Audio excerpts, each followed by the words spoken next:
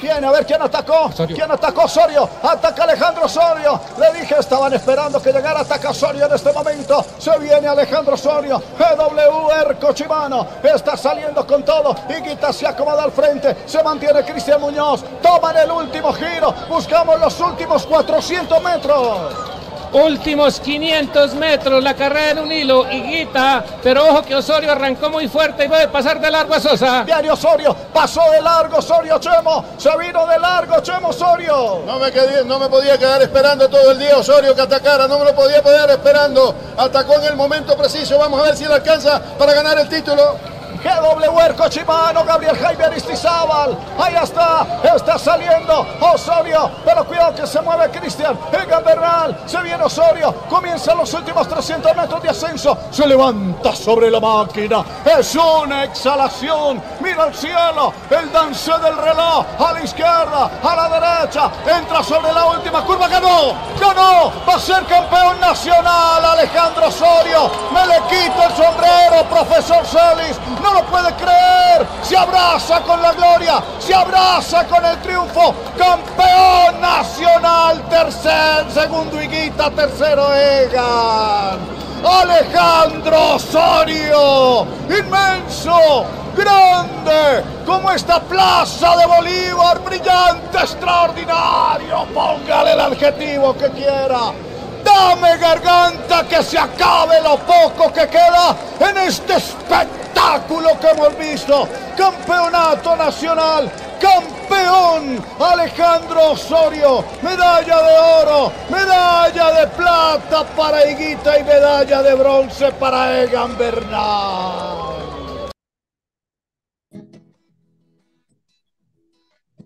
Hoy nos visita un ciclista que lleva la camiseta, la de campeón nacional, pues fue el primero en la meta. A él le dicen el pony por la pinta de campeón, por ser un ciclista grande debería ser percherón. Estuvo buena, Muy estuvo bien. buena. Muy buena trova, muy buena trova, Elkin, don Carlos Julio, ¿qué tal? ¿Cómo le va? Buenas tardes, ¿cómo le va? ¿Qué ha hecho? Señor director, un cordial saludo, un respetuoso saludo para el campeón nacional, para usted, Alejandro. Entiendo que está ahí con su familia. Un saludo muy respetuoso también para toda la familia, para toda la familia de su equipo, para mi querido amigo y papá Don Elkin, el taller de Amalfi, Nelson y todos los contertulios. Ahí ya veo también a mi contertulio, el profe Saldariaga. Ahí lo veo a mi contertulio, el profe Saldariaga. Bueno, Lucho, pues eh, es un eh, especial momento, creo, para todos nosotros tener como invitado al campeón nacional de este certamen que ha concluido tres días atrás en Tunja. Esperemos que nos cuente muchas cosas y que todos recreemos esa maravillosa descripción y relato que usted le ha regalado hoy a Alejandro y por supuesto le entregó con la pasión y la calidad profesional a toda Colombia y a todo este equipo el pasado domingo, señor director. Ah, y me mandaron el mensaje, qué pena con Don Chef, que evidentemente el hombre iba perdiendo por cinco carambolas el lunes y se desgañitó porque perdió apenas por una. Motivo por el cual, señor director, tiene, está viruseado, como dicen los ciclistas. Está viruseado y el médico le ordenó reposo de las manos para que no juegue billar. Muy bien, muy bien. Bueno, bienvenido, profe Saldarriaga, con este invitado especial que tenemos aquí. Gracias a Alejandro El Pony eh, Osorio por acompañarnos. Profe, ¿cómo le va? Buena tarde. Un cordial saludo para usted, señor director de la voz del ciclismo, lo mismo para don Carlos Julio Guzmán, la voz, la experiencia, para don Elkin Muñoz, don Elkin, don Elkin Rueda, perdón, don Rueda. Elkin Rueda, nuestro talento, para Tiger allá en Amalfi y para nuestro gran invitado, el campeón nacional de ruta Alejandro Osorio, para todos los seguidores de la voz del ciclismo, para el ciclismo en grande, un abrazo muy especial y bueno, complacido de tener este gran invitado en el día de hoy. ¿Cómo no? Don Elkin, ¿cómo le va? Su saludo ciclístico, joven.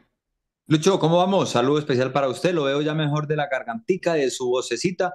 Me alegra mucho, quiere decir que está bien y que se está cuidando juiciosito, don Carlos Julio. Bienvenido, profe Saldarriaga. Qué bueno saludarlo para Nelson Restrepo, todos los que nos acompañan en la voz del ciclismo y obviamente para nuestro gran invitado Alejandro Osorio, la camiseta de campeón nacional. Qué orgullo tenerlo aquí en el programa y gracias pues por, por eh, atender nuestra invitación. Cómo no. Un abrazo para nuestro productor Nelson Restrepo. Vamos a aprovechar a, Alejandro Osorio, nos va a acompañar unas, eh, unos 25 minutos, 30, porque tiene otro compromiso a las 6 y 30. Pues, eh, campeón, muchas gracias por acompañarnos, por su tiempo. Agradecerle a Eder Garcés también, jefe de comunicaciones allí de GW Arcochimano. Y hombre, ¿cómo ha vivido estas últimas horas después de tener ese título de campeón nacional élite? ¿Qué más? Bienvenido, buenas tardes. Gracias por estar aquí en La Voz del Ciclismo. Eh, hola Lucho, hola Elkin, hola Carlos, hola profe, gracias por la invitación. Eh, nada, súper contento, eh, contento con esta victoria. Pienso que, no sé si profesionalmente, pues yo me preguntaba si era más importante ganar la montaña del Tour de la en una etapa del Giro o esta. Para mí personalmente, el campeonato nacional. O sea, tal vez para afuera lo haya sido más importante lo de allá, pero para mí es más importante esto, apenas asimilándolo, esperando con ansias la, la bicicleta y el uniforme personalizado. Y, y nada, ya, ya estamos a pocos días de, Tour Colombia, entonces me quedé una vez en Boyacá para Tour Colombia, o sea, no valía la pena volver a Antioquia y viajar y viajar para, para esperar ocho días. Entonces, nada, nos quedamos acá concentrados y, y a esperar Tour Colombia. Muy bien. Bueno, compañeros, príncipe, profesor Elkin, tienen a Alejandro ahí a disposición y por supuesto mucha gente conectada ya también con inquietudes y algunas preguntas para Alejandro Osorio que si nos permite se las vamos a trasladar. Don Carlos Julio. Gracias, director. Bueno, Alejandro, todo el mundo quiere saber, pues porque obviamente no se vio el recorrido de los 70 primeros kilómetros.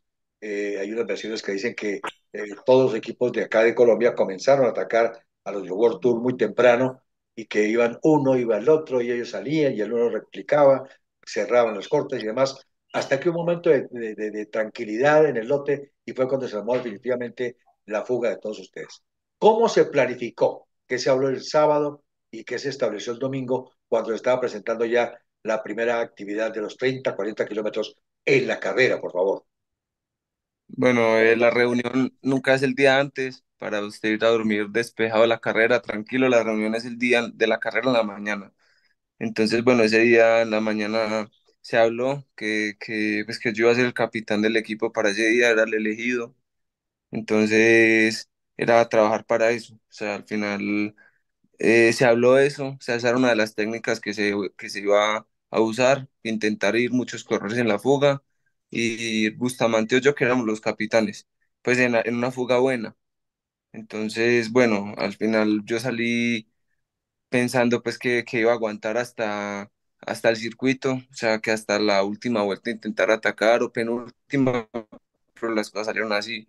Yo vi una fuga grande, vi la oportunidad, eh, yo no lo había intentado hasta ese momento, entonces vi una fuga grande que ya iba muy lejos y, y partí, o sea, sí, de salida ya estaban atacando, pero creo que, que los World Tour entre ellos se marcaban. Al final no iba ningún World Tour, iba solo Germán, que es de un equipo profesional.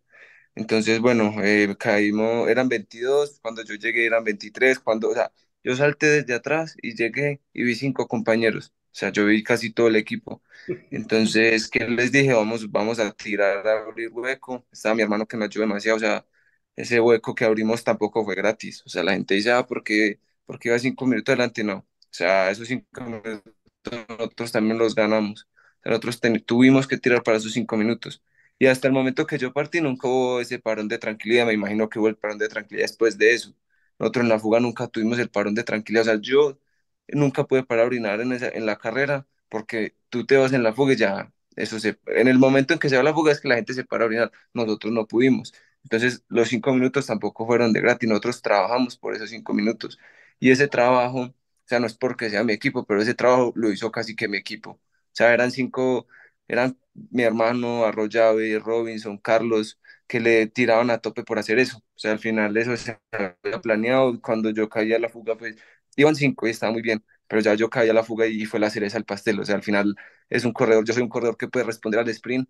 En este momento me encuentro en buena forma, es un circuito que, que me va bien, que me tenía confianza, entonces pues ese día tomé la responsabilidad por partes me sentí mal y dije, no, no voy a poder responder, pero bueno, con el paso de los kilómetros fui viendo que me bien.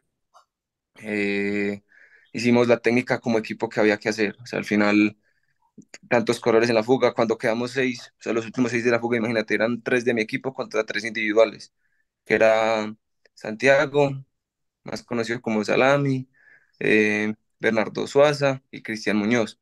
Entonces, bueno, faltando 35, yo lo que les dije a mis compañeros era que, que tratáramos de hacer desgaste en la fuga, que partíamos de a uno, que teníamos que aprovechar la, la, superioridad, o sea, para desgastar a, a nuestros contrincantes. Profe. Bueno, Alejandro, es indudable que tácticamente ustedes tenían superioridad numérica, por ende todo el peso del, de poder consolidar la fuga era en ustedes. Pero también hay que acentuar algo, que cuando uno tiene superioridad numérica, también debe reservarse un poco para poder definir la, la carrera. Porque ustedes se habían consolidado, estaban en la selección de la fuga y venía la definición. Para eso hay que tener eh, un argumento importante, es saber aguantar la presión. Usted sabía que era el último de su equipo en esa táctica residual de ir dejando corredores. Y ¿Cómo fue ese momento? Porque indiscutiblemente que dentro del manual es atacar cuando un grupo está llegando hacia otro grupo, hay que atacar. Pero supiste aguantar la presión. ¿Cómo lo sentiste en ese momento? Porque la definición fue extraordinaria. Bueno, la verdad es que estuve súper tranquilo. O sea, yo sabía que no subestimé a ninguno de los corredores que iban la, en la fuga. O sea, ni a Cristian, ni a Salami, ni a Bernardo. Por eso mismo guardé bastante porque no subestimé a ninguno. Eh, y Guita, grandes corredores que, que venían cada, cada que pasaba, pues yo intentaba, cada que pasaba por todas las vueltas, miraba cómo iba el grupo. Cada vez iba más pequeño. Cuando ya después fue que vi que venía solo Brandon, eh, Egan y Guita, otro del Sistema Crédito que había salido con ellos, eh, y Chávez, habían salido ellos. Entonces, bueno, comenzamos a dar vueltas, ellos comenzaron a descontar, nosotros no nos colaborábamos en adelante no había colaboración. O sea, en los últimos 35 no hubo nada de colaboración, eran los ataques. Si, si, cogían a Pinzón salía Robinson, si cogían a Robinson salía yo, y así, o sea, hacer un desgaste adelante, entonces ya no había colaboración como hubo hasta ese momento.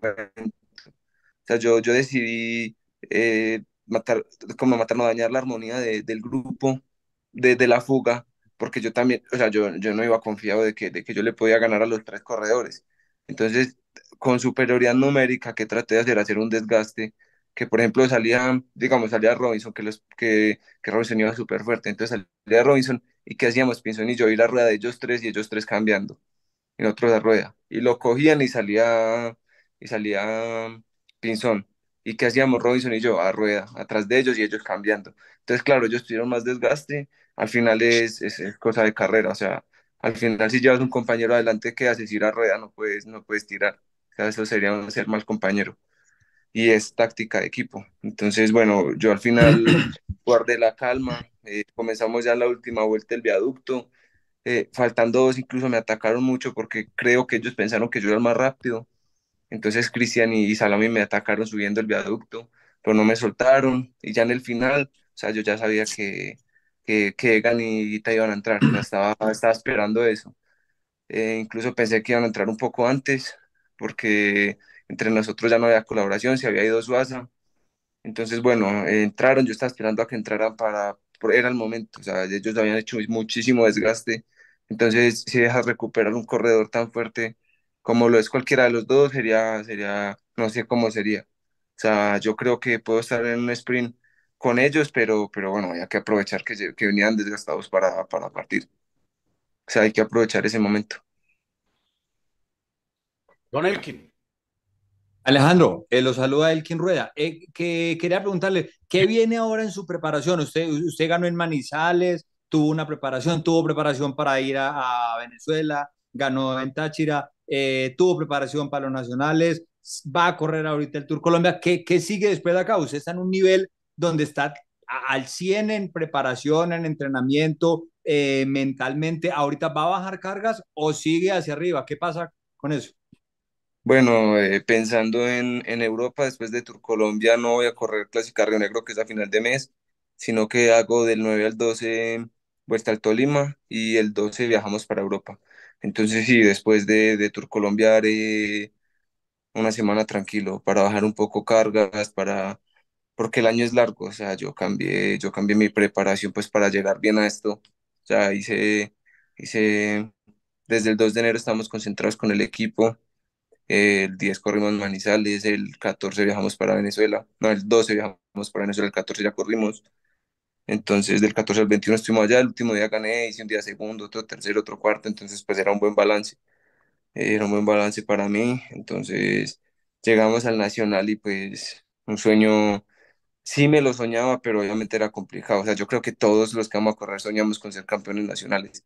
O sea, todos los corredores van por, por, por la victoria y, y, bueno, yo lo soñé y, y, se logró. Gracias al equipo, a la parte directiva, a Luis Eli, a los patrocinadores, a todos, pues eso es posible y súper contentos. O sea, yo creo que esa camisa va a ser una motivación extra para, para hacer las cosas mejor, para entrenar mejor, para comer mejor. Igual Sí, lo que te digo, después de Tour Colombia descansaré un poco para, para en miras a la, a la gira por Europa, para llegar un poco, para llegar en buena forma, pero no a tope, porque al final vamos a estar mes y medio. Entonces, con las carreras, con las primeras, coger, terminar de coger forma y, y que me dure el otro mes que queda. Qué bueno, está, está clarito Alejandro, ¿no? Está clarito, la tiene clarito. Aquí hay varios aspectos. Hay mucha gente conectada en nuestro eh, canal en este momento de ciclismo en grande y, hay muchos aspectos, ¿no? Voy, a mencionarle algunos y algunas preguntas, si me permite, que le voy a trasladar. Pero hay una frase que dice un colega amigo nuestro, don César Augusto Tobón, que dice, dime a quién le ganaste y te diré cuánto vale tu victoria. Planificada, estratégicamente, calculada, pensada, meditada, la forma como ustedes corrieron. Hablo del equipo GWR Cochimano, pero resulta que como dice aquí Israel Herrera, ya son terceros de los equipos continentales en el ranking UCI. ¿Ya sabía eso? Ya ustedes en este momento son terceros en el ranking UCI en equipos continentales. Póngale cuidado pues por dónde va el triunfo suyo. Segundo, usted le ganó a 12 World Tour el domingo. A 12 World Tour. ¿Cómo? Se fueron de largada. Usted ganó muchas formas de ganar, legales y válidas. 12 World Tour estaban ahí pero usted ganó. ¿Eso qué significa? ¿Eso lo ha podido asimilar usted? ¿Lo ha analizado?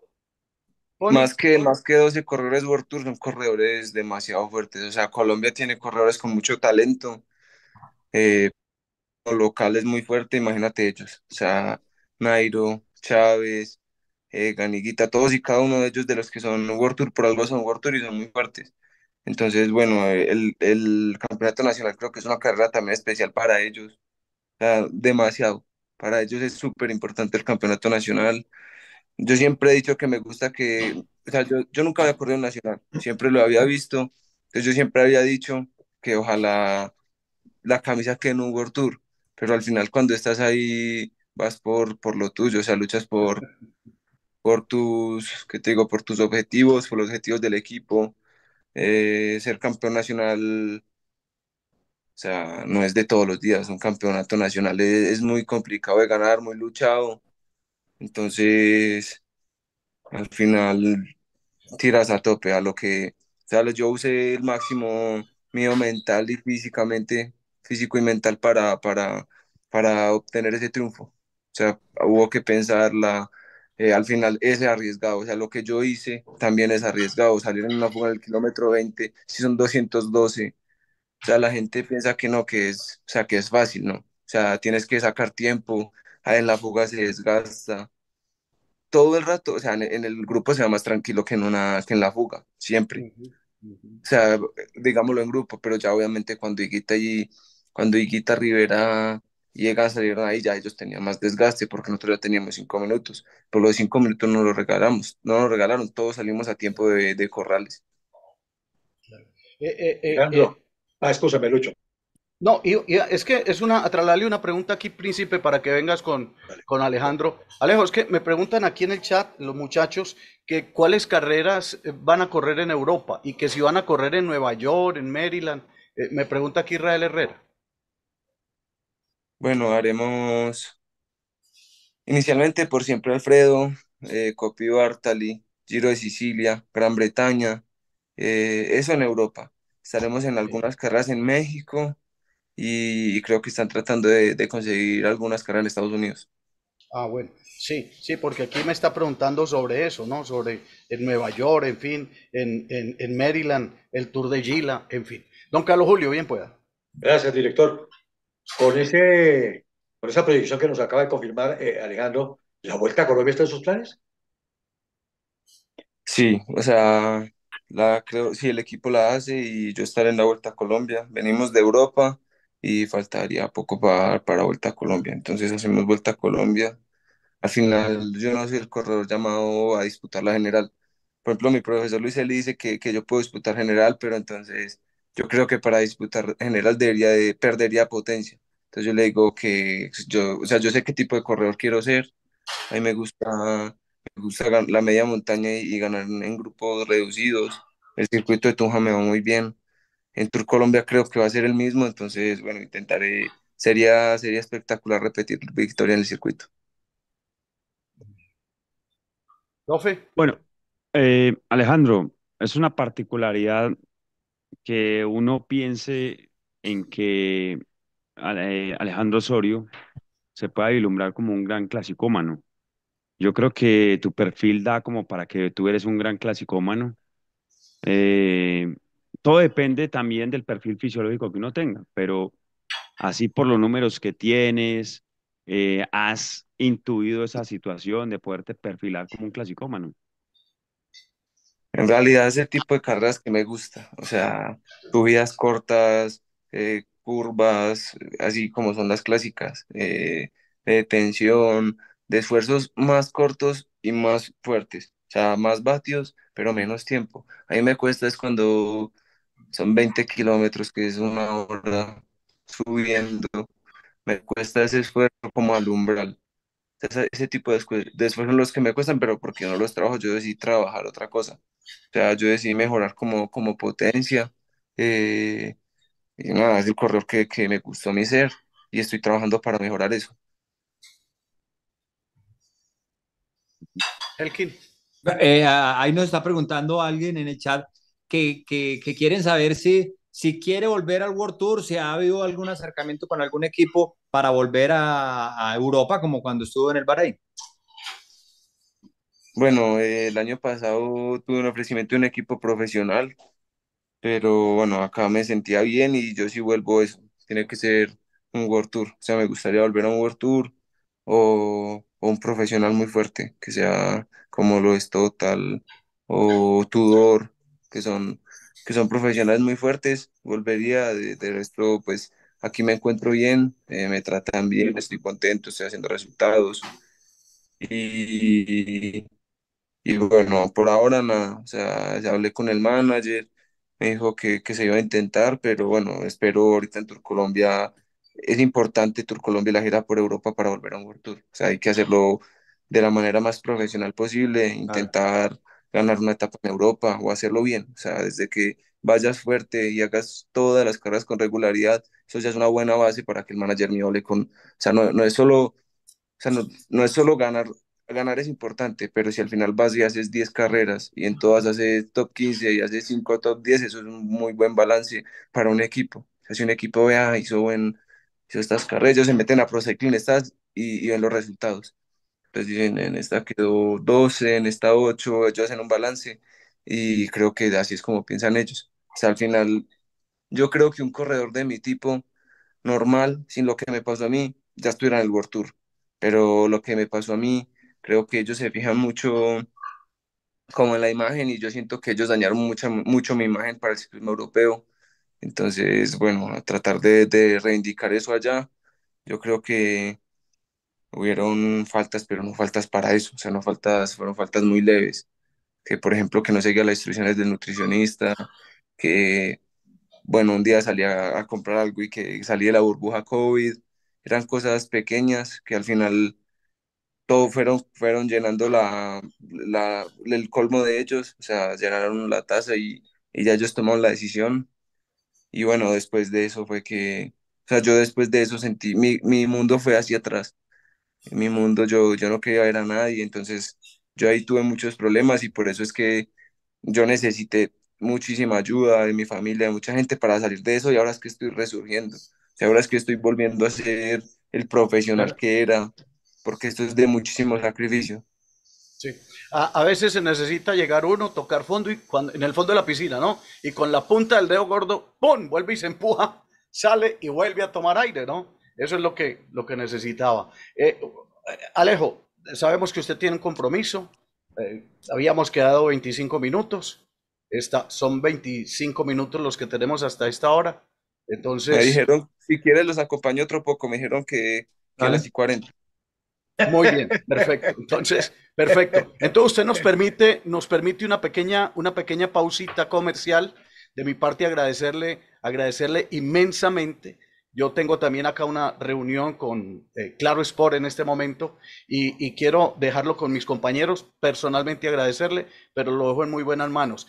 Cuídeme el señor de cabello blanco, ¿no? Se lo recomiendo mucho, se lo recomiendo mucho que se va a cansar de perseguirlo en los podios en esta temporada. Vamos a esta pausa y ya volvemos con Alejandro Osorio, el campeón nacional élite 2024. Ya regresamos.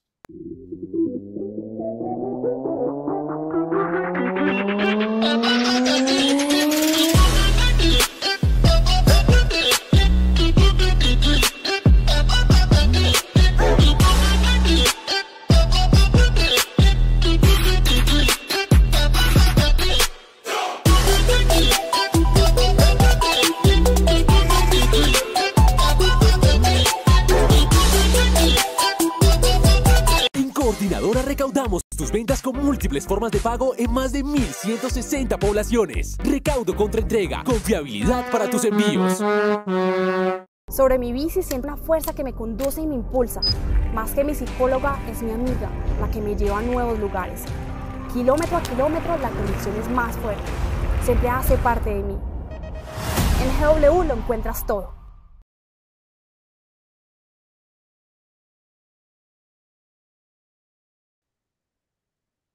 Bueno, aquí estamos de vuelta, compartiendo en este día, señoras y señores, en este su programa, queridos contertulios de la voz del ciclismo, ciclismo en grande, las manifestaciones, las palabras sabias, las explicaciones muy precisas y puntuales del campeón nacional reinante, Alejandro Soria. Voy a preguntarle algo así como para que usted nos ilustre, porque yo no conozco, eh, preguntar y nadie me da razón. Ese apodo suyo del Pony, ¿es apodo de colegio? ¿Es apodo de familia? ¿Es, ¿Es apodo del lote del ciclismo o es apodo de su novia? Yo no sé, cuénteme usted.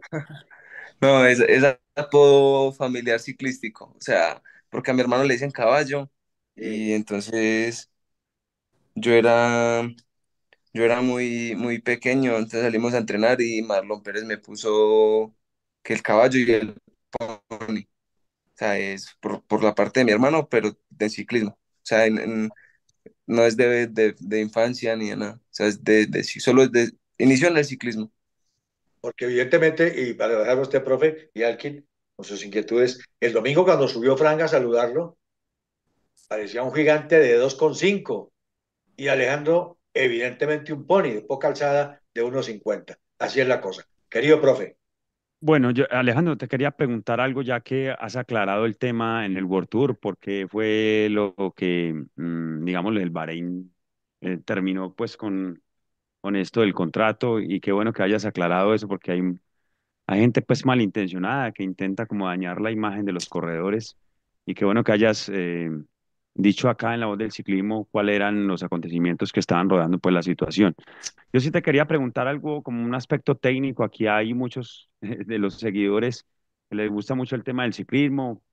Eh, que, nos cueste, que nos cuentes como aspectos importantes de la bicicleta, qué relación llevabas, qué ruedas. Eso a la gente le gusta demasiado, Alejandro, por favor. Llevaba 55-11, 55-40 y atrás 30-11.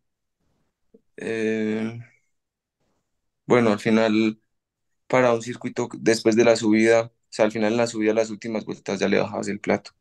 O sea, no subías con el plato. La última vuelta sí la hice con el plato, pero ese plato servía demasiado en la parte, después de la, después de la meta, se subía otro poco y luego se bajaba. Y entonces por ahí rendía muchísimo. Entonces ahí servía el plato con eso y al final cuando no puedes moverlo lo bajas y subes cambios. O sea, para mí nunca ha tenido misterio usar un plato grande porque, porque para eso también está el pequeño, le pones el pequeño con un piñón más grande, más pequeño, o hay mucha relación. Eh, llevaba una rueda C50 eh, y ya mi bicicleta, la GW Sprinter. Ok. Imagínate, eh, que donde moví más vatios no fue en el sprint, sino para llegar a la fuga. ¿Cómo debería ese Claro. desespero?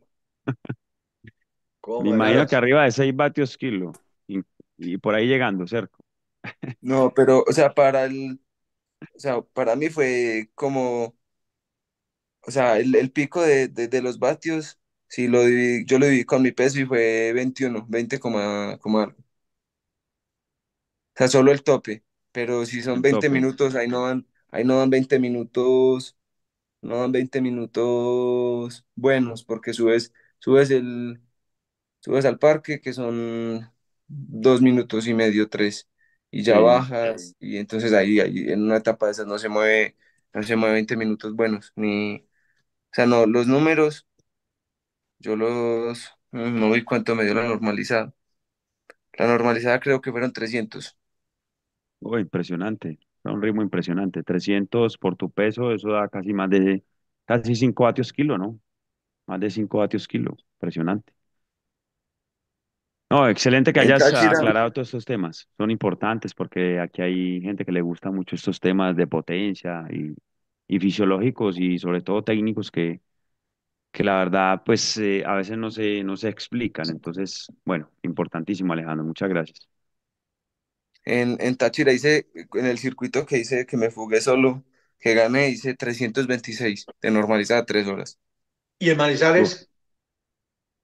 Ay, donde, en, donde te vi ganar también, porque ya estaba yo. en Manizales creo que fueron, fue más, porque fue más corto. O sea, en Manizales fue una hora veinte, pero ese dato sí no, no, me acuerdo. Ah, ok, ok. No me acuerdo, yo creo que no lleva ni reloj. O sea, al final para solo era circuito. Y entonces dijeron que las últimas cinco vueltas las mostraran en el, en el, en- con, con el vueltas, papel de cinco vueltas. vueltas, con el Sí, contavueltas. sí. Entonces, no, yo creo que ese día no llevaba reloj. O sea, ir ahí e intentar ganar. Y ya, ese día Alejandro, ¿qué, qué peso tienes ahora? Están preguntando por aquí José Valderrama y muchos, pues ya están haciendo cuentas, tú sabes cómo es el tema. Estoy alrededor de 64, 65. 64, exacto. Muy bien. Bárbara. 65. Bueno, Alejandro, o sea, ya, listo, ya la camiseta, campeón, te felicitamos, muy bien, pero listo, ya, olvidémonos del campeonato nacional y ya que viene el Tour Colombia la próxima semana. ¿Usted qué ha hablado con su equipo? Eh, ¿Usted es el hombre capo en el equipo para, para esta carrera? ¿O usted va a trabajar? ¿O qué ha hablado con el profe Celis para, para el Tour Colombia? Bueno, al final yo acá, pues, el profe me valora mucho, entonces tengo como la oportunidad, pues, de, de ser capo en lo que, en lo que a mí me gusta. O sea, yo digo, yo quiero que me ayuden en la etapa de Santa Rosa y en el circuito, supongamos. Entonces ahí me ayudan a mí. Y, y digamos, en la del vino, yo no disputo la general.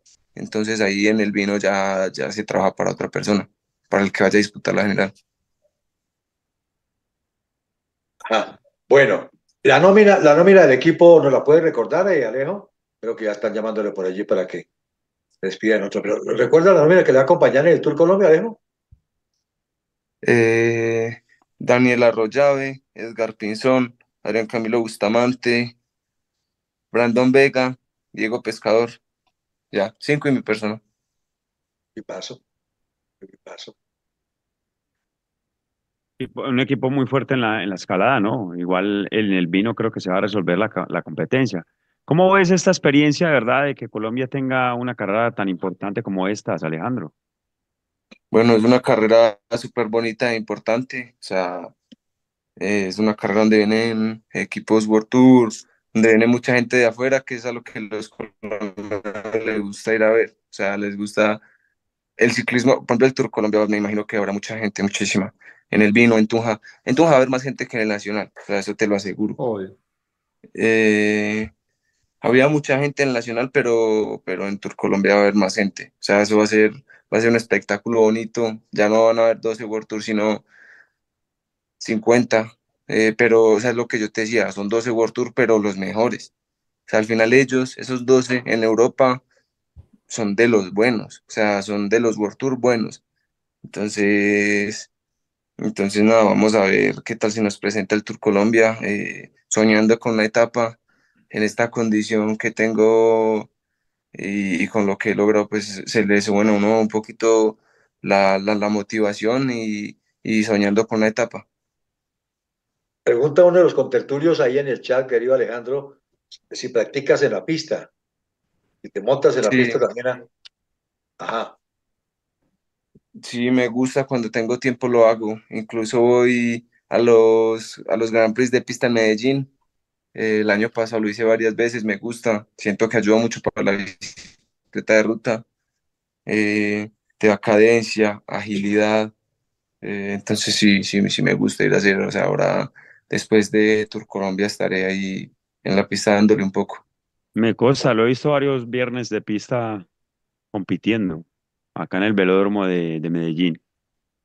Muy valioso eso porque no todos los, eh, corredores le gusta la pista y bueno, desvirtuando un poco de, de, paradigmas que la verdad la gente se sugestiona mucho con eso y aquí está el fiel reflejo de que la pista antes de que deteriore alguna condición ante la mejora. Entonces aquí está el reflejo del campeón nacional.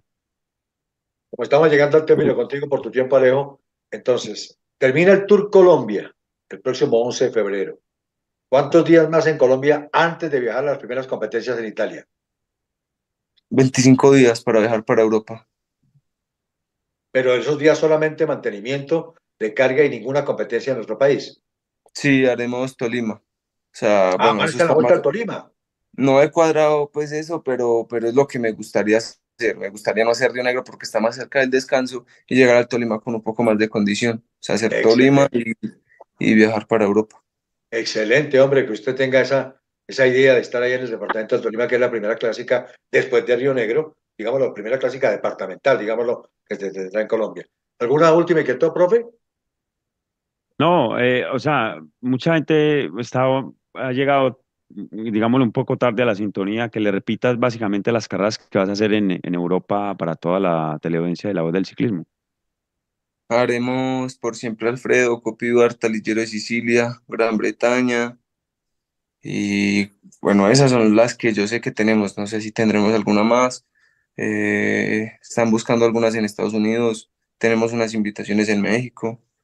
Y bueno, a intentar soñando ahora con hacia pronto plazo eh, una etapa en Tour Colombia y hacerlo de la mejor manera en Europa.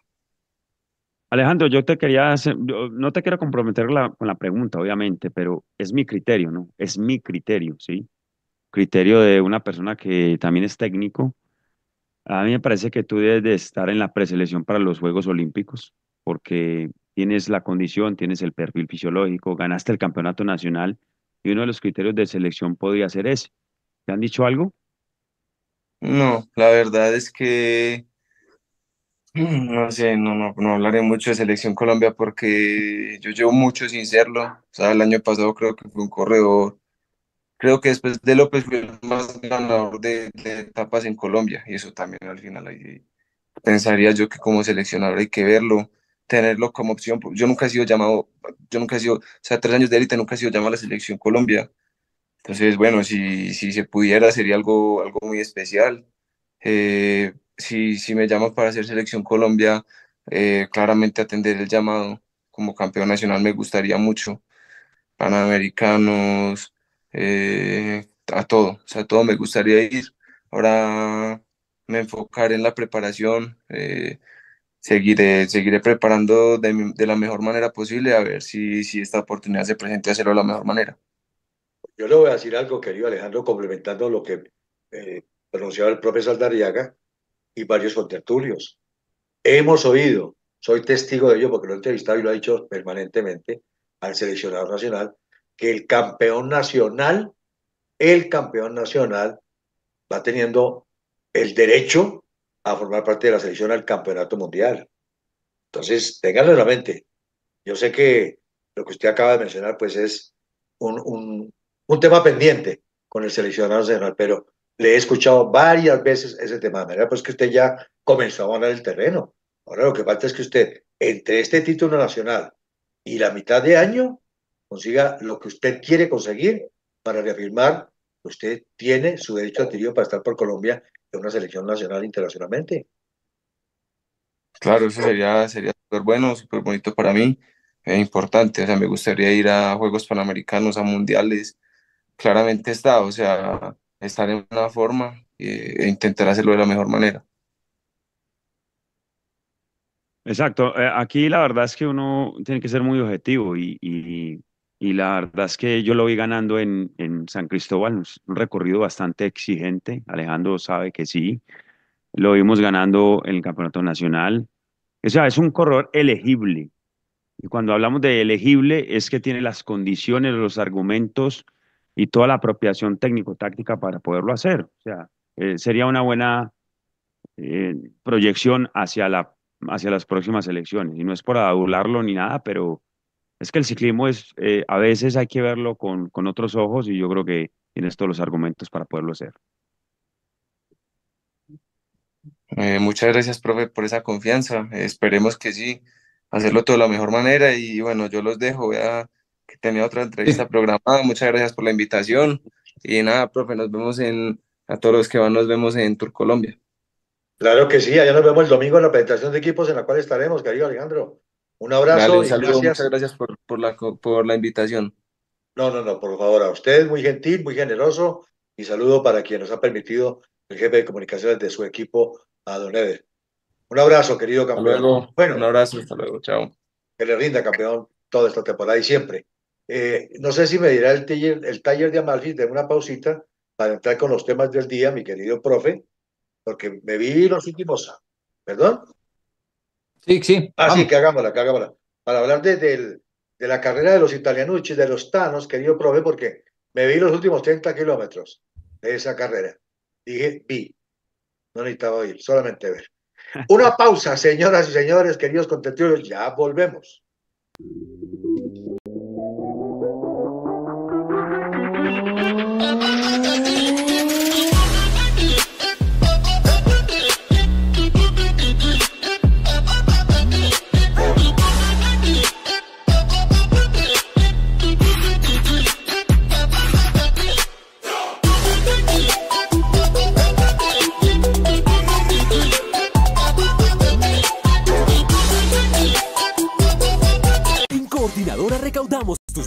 Múltiples formas de pago en más de 1160 poblaciones. Recaudo contra entrega, confiabilidad para tus envíos.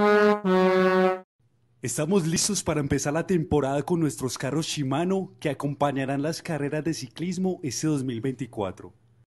Equipados con bicicletas GW letras con grupos Shimano Durace, componentes Pro, ruedas tubulares Victoria y todo el material y conocimiento de nuestros técnicos Shimano para cualquier reparación. Nos vemos en los nacionales de ruta y todo el resto de la temporada 2024.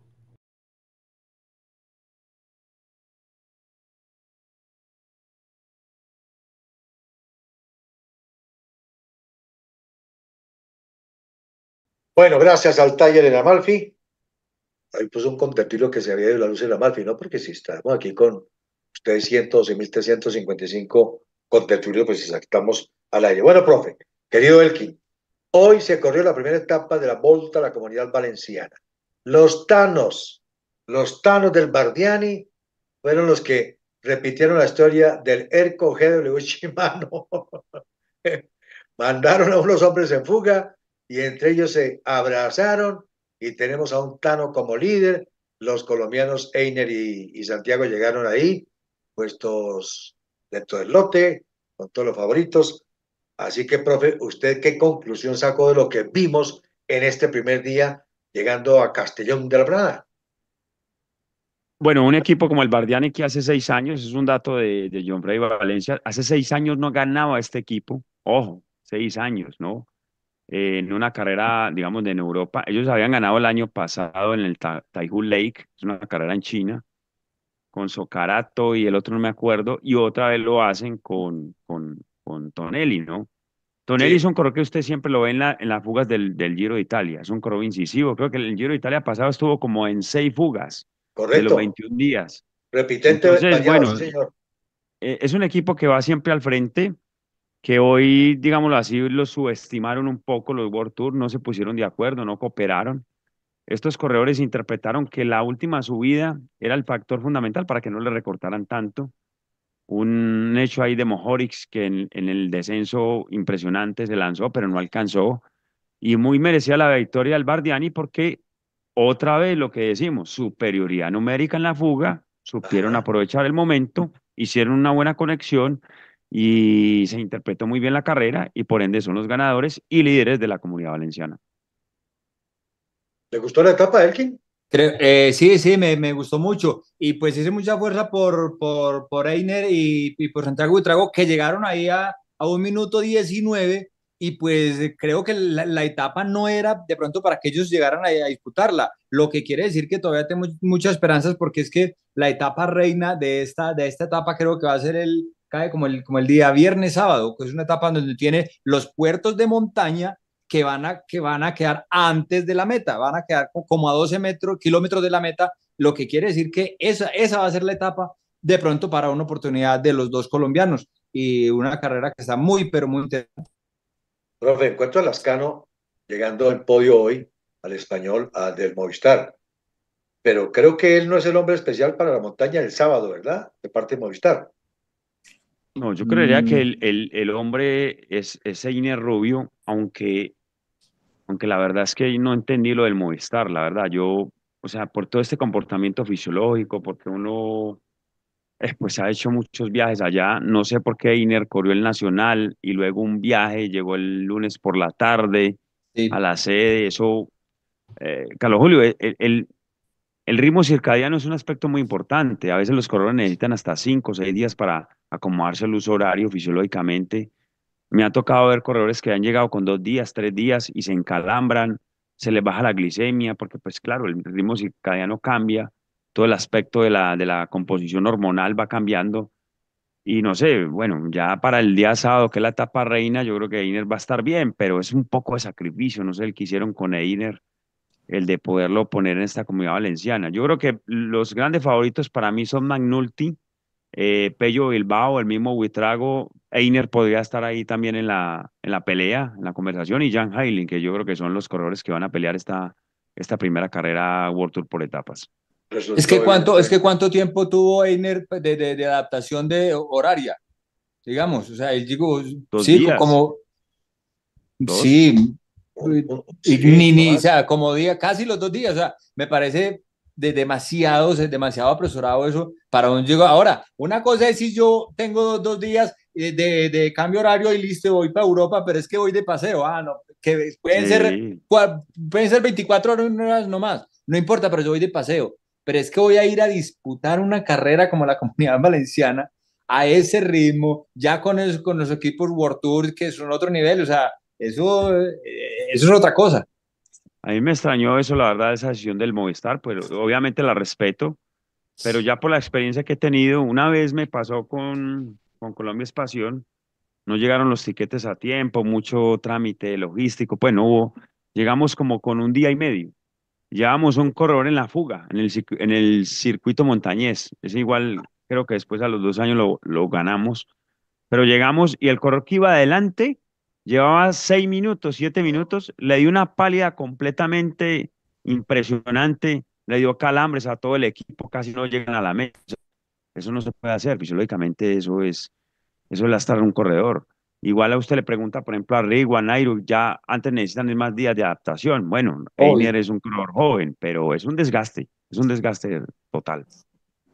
Sí, fue poner al corredor en un plan de corre-corre y de, poco, y de poca recuperación y poca adaptación al cambio del horario de, de, de- de acá, de, de- América a Europa.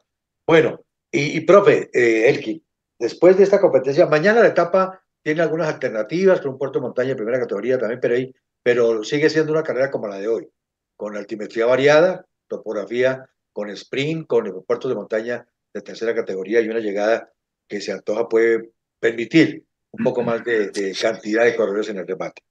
Y, pero, profe, el, el sábado ya los contertulios también están hablando de una prueba también que en España eh, convoca a, a, muy importantes corredores, y es la Vuelta a Murcia. Comienza el día sábado, profe. Sí, están hablando de que varios corredores van a estar ahí. Creo que el caso de Umba tuvo la oportunidad de. No, Umba no, este muchacho Guatibonza, creo que es. Guatibonza, no, Umba va, sí. Umba va para el Tour Colombia, sí. Al final le cambiaron el, le cambiaron el calendario. Habíamos hablado la semana pasada con él, le habían ca cambiado el calendario. Entonces, bueno, no, lo que pasa es que ahora ya empiezan las carreras. Las de febrero te van diciendo la condición en que van saliendo la pretemporada de cómo ha sido el trabajo, de cómo ha sido de juiciosos los corredores, si llegan el peso ideal, en el volumen ideal, con la intensidad adecuada, porque ya marzo, ustedes saben que marzo ya es la consolidación de ese primer bloque de carreras, ¿no? Ya en marzo ya la gente tiene que empezar a rendir, París-Niza, Tirreno Adriático, y ya viene el cierre del primer, digámoslo así, como primer mmm, eh, punto de forma, que son las clásicas, la Lies, la Flecha Balona, que ahí ya eh, nos darán punto alto de, temporada para los corredores y luego ya el, el rendezvous, el encuentro en la primera grande que es en el mes de mayo, la, del Giro de Italia. El profe, volviendo sobre la carrera nuestra desde el próximo domingo, desde el próximo martes, el Tour Colombia, por ahí vi que un contactivo inquiría sobre eh, qué tipo de trabajo realizan los equipos que en esta semana ya están todos acomodados y en Boyacá preparando este Tour Colombia. Bueno, la verdad es que me, me, ha, me ha impactado el trabajo que ha hecho el Astana de adaptación, porque fíjate que ellos escogieron Antioquia, que tiene 2.100 metros, y luego hicieron el siguiente stage, es decir, la, la, el cambio lo hicieron a 2.600, ya lo vimos en Paipa, están allá concentrados, ya llevan casi nueve días, o sea, hicieron nueve días en Antioquia y ya llevan nueve días más los días que quedan de competencia, o sea que van a tener los 21 días que en, en, en calidad de en la parte científica se estima para que haya una adaptación totalmente a la altura. Es decir, que acá lo vamos a ver sprintando con, con Morco, junto a Gaviria, eh, trae un equipo muy especial como con Cesbol, Morkov y el mismo eh, Cavendish, o sea, trae un buen tren, y el mismo Lucenko, que por ahí de pronto puede a, a colaborar. Me parece que han hecho todo lo necesario como para ganar una etapa. Eh, Cavendish, me parece que el primer día le, le, cae bastante bien, el segundo pues la llegada a Viterbo no, pero el tercer día también le puede eh, caer. El circuito de Tunja sí yo creo que es un poco pesado, ¿no? Pero esa, esa doble venta quemada y regresar, esa, esa etapa le puede caer bastante bien. Han hecho desde lo fisiológico todo lo posible como para poderse llevar una etapa, me parece a mí, porque eh, en el primer stage, que son los, en las primeras 72, a las 120 horas, que es cuando se da el, el desencuadre desde el punto de vista de la, de la extracción del oxígeno, eh, bajaron las cargas de entrenamiento, estuvieron en Antioquia muy suave y luego subieron al departamento de Boyacá para aclimatarse completamente. O sea, hicieron todo lo fisiológico para poder ganar una etapa. Y lo propio, las llegadas y Paquirá, creo, profe. Para acá, en hablo. Sí, y para acá de la Zipaquirá, exactamente. Esa. Y lo, Yo creo que son y, dos lo, etapas las que tienen.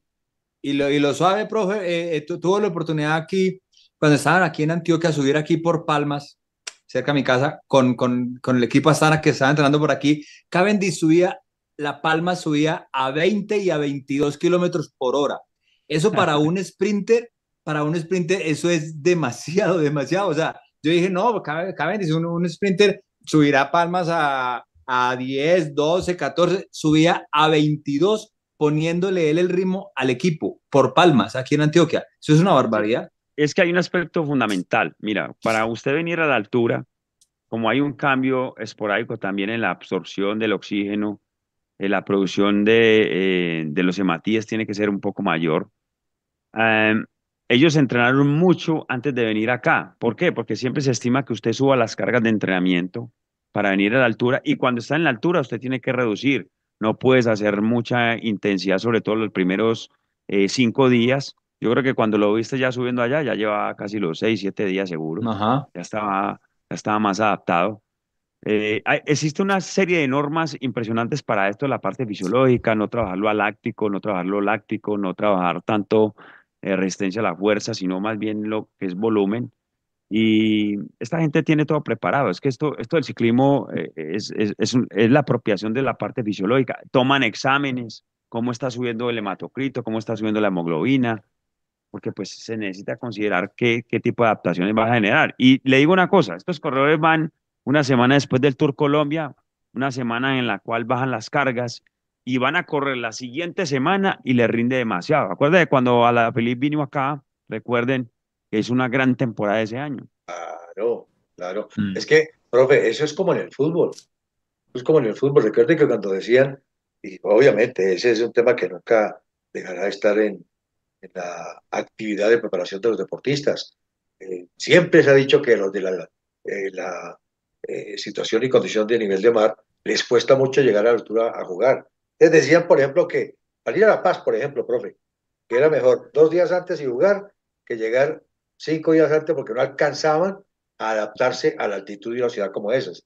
Entonces, bueno, en el ciclismo también esa explicación es muy válida. Y por supuesto, profe, la última inquietud que también por ahí me encontré entre líneas de algún contertulio tiene que ver con que si la historia se repetirá, es decir, si el World Tour seguirá marcando la pauta como campeón en esta prueba. Hombre, sin pues, yo la verdad veo que el recorrido final, eh, o sea, la etapa más dura es la del vino, obviamente, pues salir de costa, bajar hasta la hasta la Vega y volver, pero hasta la Vega no, hasta Villeta casi hasta Villeta y regresar, bueno, yo creo que es la etapa más dura. Yo veo muy bien a Egan, veo muy bien a Nairo, eh, veo a, un corredor interesante como este pescador, no sé si ahí de pronto ya estará más en forma.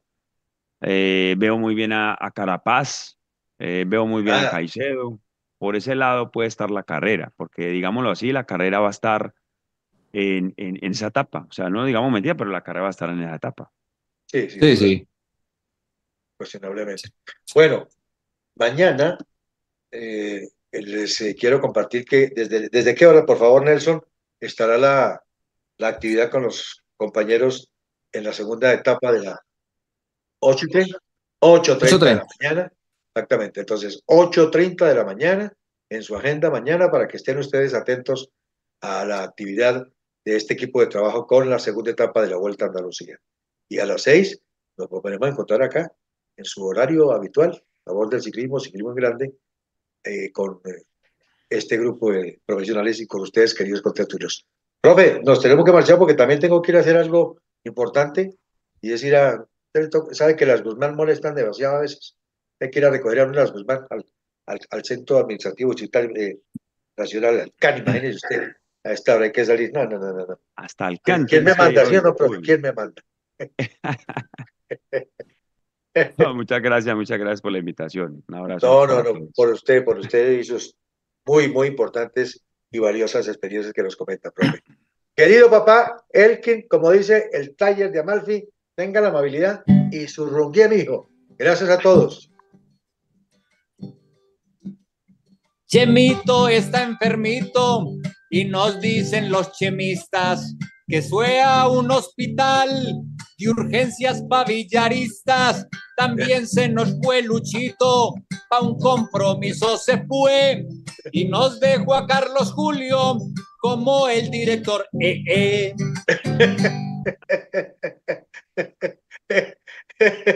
Muchas gracias, querido Bueno, profe, querido contertulio, un abrazo. Nos encontramos un abrazo, Carlos Julio, gracias.